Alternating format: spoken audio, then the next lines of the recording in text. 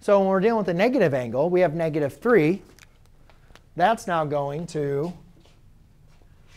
so now we're going in the negative direction.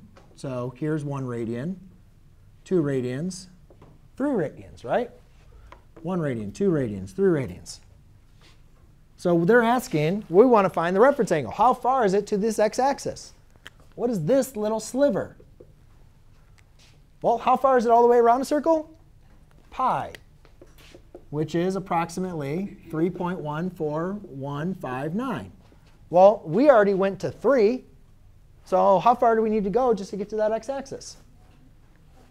0.14, so we could say theta prime. Because remember, even though we have a negative angle, remember acute reference angles are always acute and positive.